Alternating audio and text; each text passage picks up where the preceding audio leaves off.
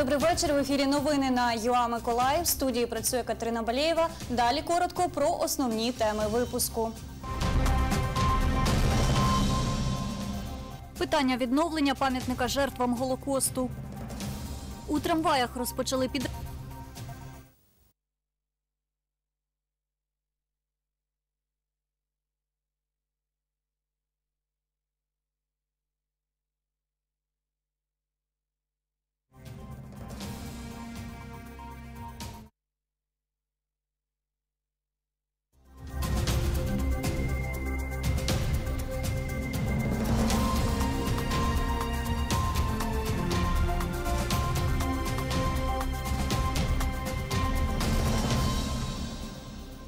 Добрий вечір. В ефірі новини на ЮА Миколаїв. В студії працює Катерина Балєєва. Далі коротко про основні теми випуску.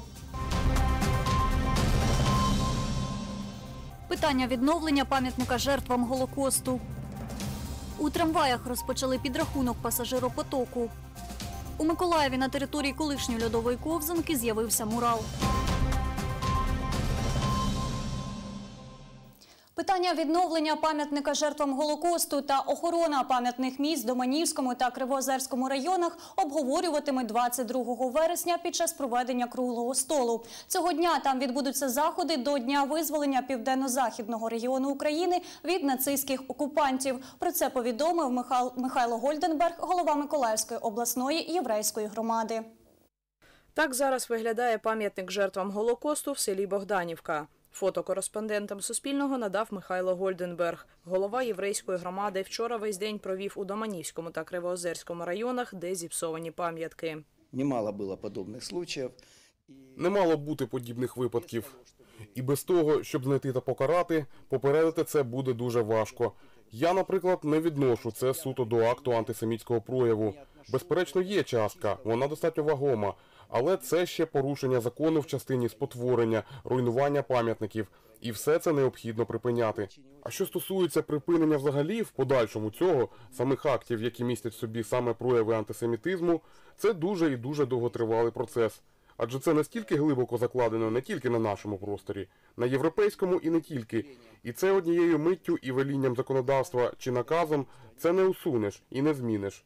Нагадаємо, пам'ятник жертвам Голокосту у селі Богданівка, що у Доманівському районі Миколаївської області, на місці масового розстрілу 54 тисяч євреїв встановили у 1991 році. 15 вересня невідомі пошкодили пам'ятний знак, нанесли на нього написи із забороненою нацистською символікою та залишили записку, в якій згадали представників влади, зокрема президента України Володимира Зеленського. Все це відбулось напередодні річниці звільнення південно-західного регіону від так званої Трансністрії, яке відзначатимуть 22 вересня.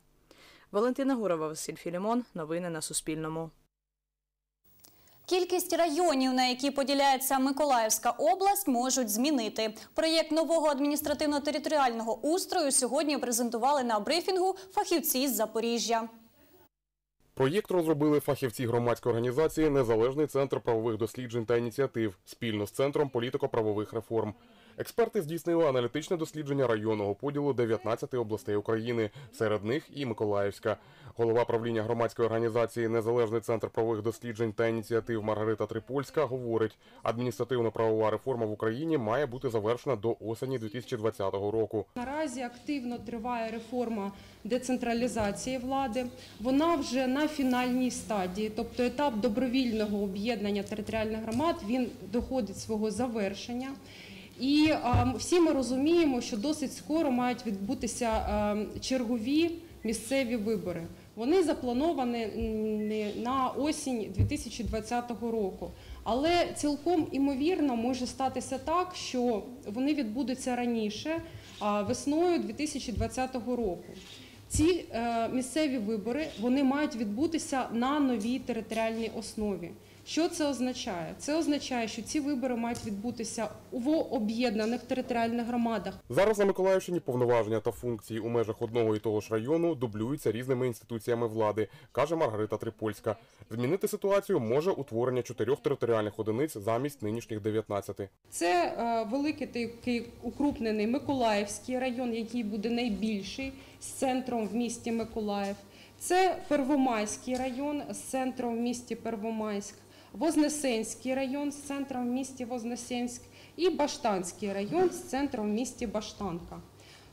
Даний проєкт він відповідає всім е, критеріям, методикам щодо саме реформування адміністративно-територіального устрою на районному рівні. Тенденція до збільшення може торкнутися і об'єднаних територіальних громад. Чому мова йде про можливе укрупнення? Тому що з зникненням тих районів, які є на сьогоднішній день, їх коло повноважень, ті послуги, які вони е, повинні будуть надавати своєму населенню, буде буде збільшено. Це буде міні-район, який існує на сьогоднішній день. Так, всі адміністративні послуги мають бути мають надаватися саме в таких громадах. Основна мета утворення великих районів скорочення адміністративних витрат та підвищення якості надання послуг людям. Сама реформа вона спрямована на покращення послуг населенню, тобто в- ну, головним є людина е, наша, яка потрібна отримати достатнього рівня послуги, а це ну, залежить ну, від нашої, як кажуть, роботи чорнової, а потім на себе бере відповідальність е, вже влада, яка сформує і наш територіальний устрій, а там будемо бачити. Пропозиції експертів враховуватимуть під час підготовки проєкту закону про адміністративно-територіальний устрій України, яка запланована на кінець 2019-го, початок 2020 року. Володимир Степанов, Сергій Куропятник. Новини на Суспільному. Миколаївщина. На Миколаївщині розпочало роботу нове управління Державної служби якості освіти. Відтепер його співробітники оцінюватимуть організацію навчального процесу в місцевих школах. Детальніше про завдання держструктури розповіла начальниця управління в Миколаївській області Тетяна Голубченко. Повноваження нашої служби поширюються на територію Миколаївської області. Серед наших основних функцій наступні: це здійснення інституційного аудиту е, навчальних закладів, крім вищої освіти. Наступна наша функція це е, робота з органами місцевого самоврядування, саме з процедури контролю за ем, їх допомогою щодо здійснення внутрішнього внутрішньої системи якості освіти. Штат управління поки що формується. З 22 співробітників набрано 8. Зараз готують серію семінарів для вчителів та директорів шкіл. Семінари будуть стосуватися формування внутрішньої системи забезпечення якості освіти в закладах. Вони стануть складовою і зможуть забезпечити спокійну підготовку закладів до інституційного аудиту. Бо мета інституційного аудиту саме оцінити систему функціонування якісної освіти у закладі. Е, Ми намагаємося дати роз'яснення керівникам закладів, їх заступникам, педагогічним працівникам, що саме є, з чого складається якість освіти, і як вони зможуть спокійно підготувати всю систему своєї школи. Створення Державної служби якості освіти є одним із елементів реалізації реформи нової української школи. Ми абсолютно певні, що відбудеться саме покращення такого поняття, як якість освіти на Миколаївщині. Адже все це робиться заради того, щоб ми зреалізували якомога ефективніше е, нову ну, побудову нової української школи, щоб ми створили такі умови для наших дітей, щоб вони е, щоб наші діти були задоволеними. Вікторія Чернявська, Сергій Куропятник. Новини на Суспільному. Миколаїв.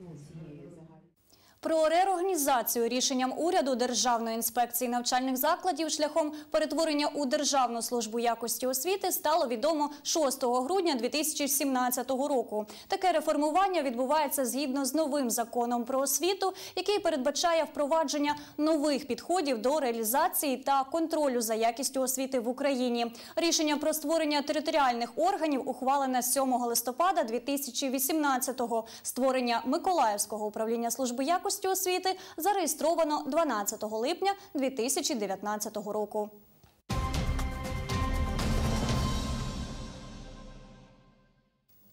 Відсьогодні у Миколаєві працівники комунального підприємства Миколаїв Електротранс спільно зі спеціалістами департаменту праці і соцзахисту розпочали підрахунок пасажиропотоку у трамваях. Перевірятимуть два дні 17 та 18 вересня. Про хід підрахунку з наступного сюжету. 12.30 – кінцевий маршрут трамваїв номер 6 та 7, що на центральному ринку. В салоні переважно літні люди. Пільговий проїзд має і Наталя Іванова. Каже, сьогодні в трамваї втретє. Перевіряючих бачила на інших маршрутах. Ні, нічого Ні, вони нічого не питали. Людей небагато було в трамваї. Трійкою їздить менше людей ніж першим. Багато людей вранці їздить трамваями. На роботу їздять школярі, їздять студенти.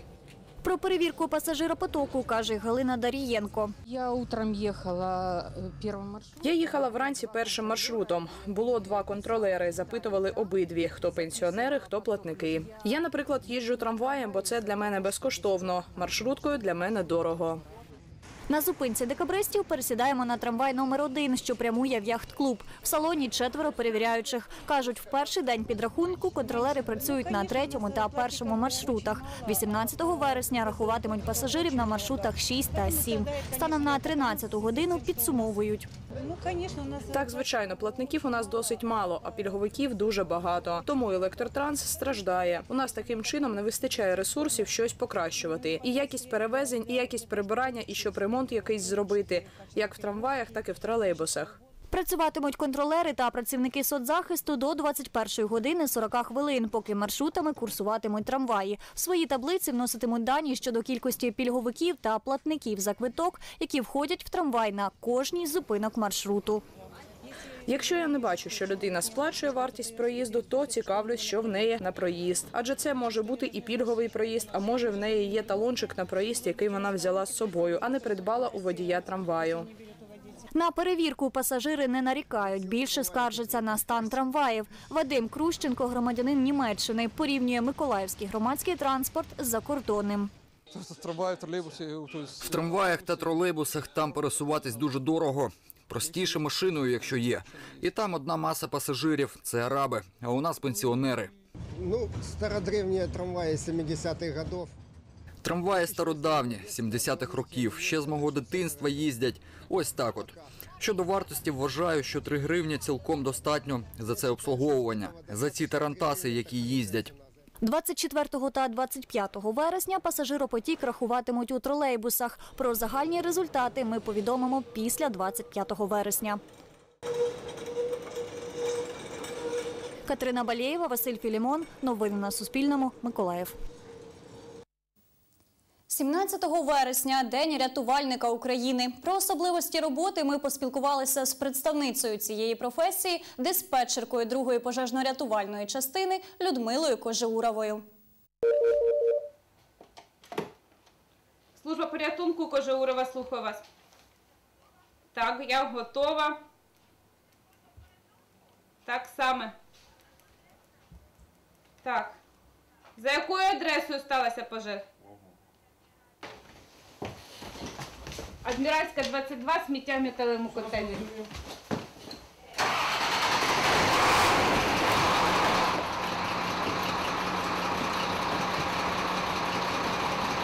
41-річна Людмила Кожурова працює диспетчеркою у другій державній пожежно-рятувальній частині 20 років. Каже, це була її мрія.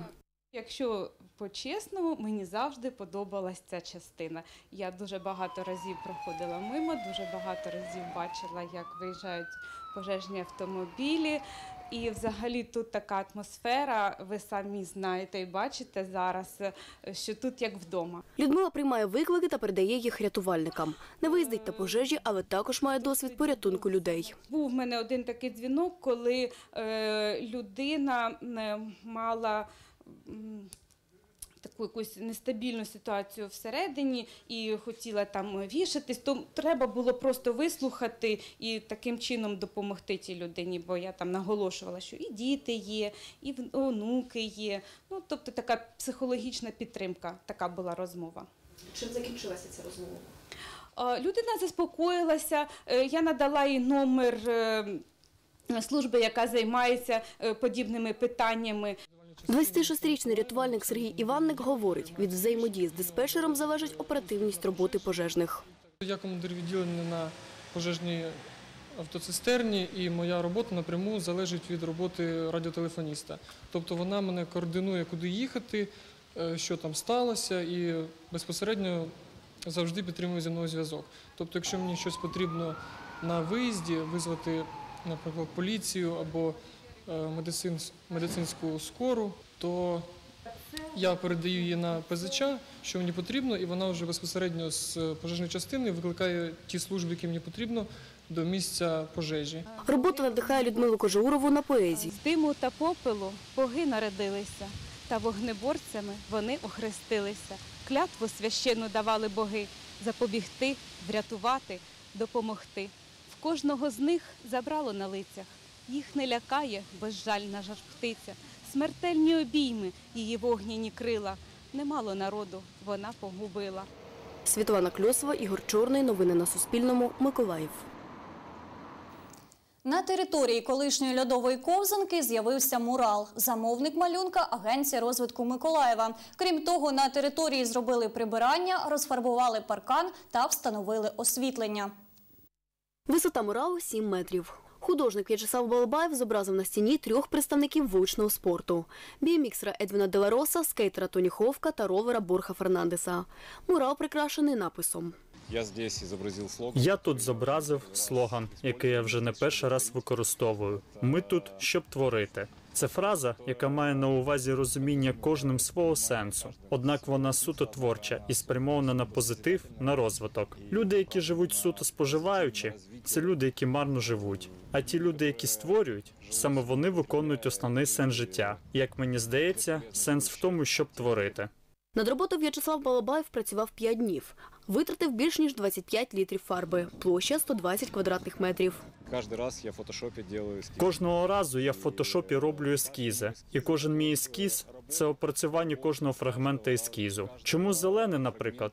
Тому що я спробував фіолетовий, жовтий, червоний, і мені здалося, що цей колір найкраще там поєднується. Я скомбінував деякі елементи, які створив сам, або знайшов десь, змінив їх до невпізнанності і інтерпретував по-своєму. Зробив яскравий фасад, адже яскравих кольорів так не вистачає в нашому місті. Ініціювала створення муралу комунальна установа Агенція розвитку Миколаєва. Раніше територія виглядала так. Разом з департаментом житлово-комунального господарства агенція провела прибирання. Сейчас уже приличном состоянии. Зараз вже в пристойному стані. До цього було в напівзруйнованому стані залишилася будівля. В ній жили безхатьки. Там була кілька разів пожежна ситуація. і Загалом була антисанітарія. Сьогодні ми разом з департаментом ЖКГ і з нашими хлопцями зі Слайком Балабаєвим упорядковуємо і даруємо місту таке класне графіті. Світлана Кльосова, Василь Філімон. Новини на Суспільному. Миколаїв. Це була остання новина випуску. Бажаю вам вдалого завершення дня. На все добре.